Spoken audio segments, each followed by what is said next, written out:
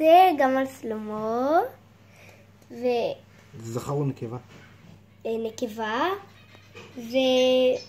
נו, והיא אוכלת זחלים עכשיו, ו... נו, איך? אה, ואחד היא כמעט סיימה, אה, יש יש לה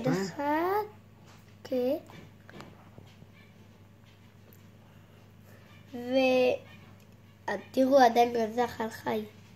אל תפריע לה. אבל. ונסחרר אותה עוד מעט לחופשי, איפה מצאת אותה? בחצר. איפה? אה, בגינה שלנו, על העלים הירוקים, למה היא הייתה חושב שהייתה על העלים ירוקים? בגלל ככה היא משתווה.